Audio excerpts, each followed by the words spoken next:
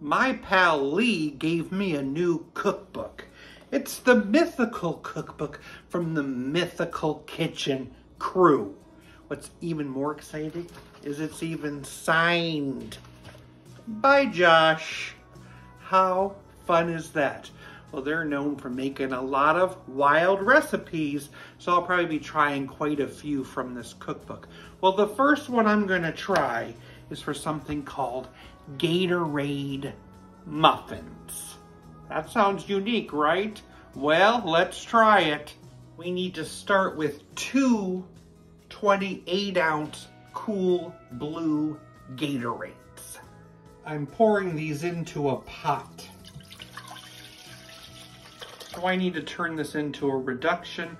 I'm gonna boil this until it becomes a really thick syrupy soup and it could take like 40 minutes.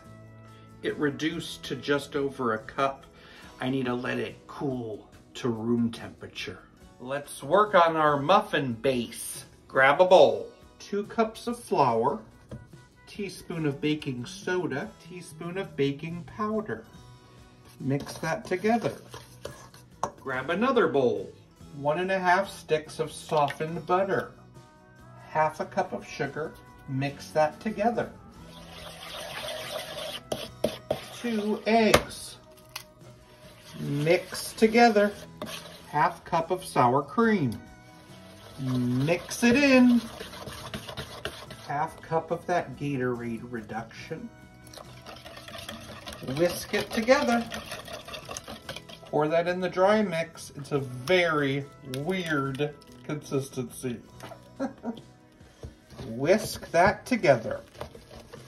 I need two cups of frozen blueberries. I need to toss in a pinch of flour. And cover them up. Fold those in to your muffin mix.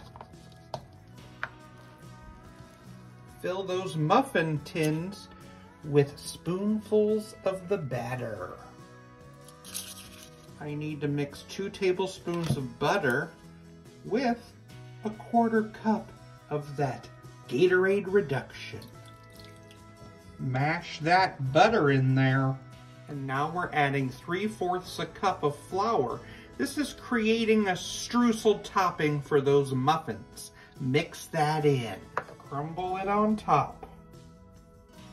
Time to bake them at 375 about 15 minutes. Gatorade got its start in the 1960s. It actually happened at the University of Florida. Their football team, the Florida Gators, was struggling with an issue of dehydration. Basically, 20 team members in one weekend were sent to the infirmary because of dehydration. So the team was like, got a doctor involved to come up with a way to have a drink that would help with their electrolytes. And that's how Gatorade came to be. It was actually the doctor's wife. When it first came out, they really hated the flavor, and the doctor's wife suggested putting a little lemon juice in there, and they liked it better. Since then, they've added a lot of different types of fruit juice. 100 billion ounces of Gatorade are sold every year.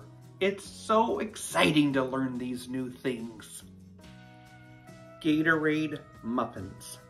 How unique is this? Mmm. Very moist. Mm.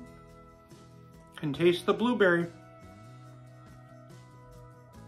But the Gatorade cool blue flavor, not too strong. But I must say I'm very happy knowing I have all these electrolytes in my body. What's the difference between regular Gatorade and Amish Gatorade? Amish Gatorade doesn't have electric lights.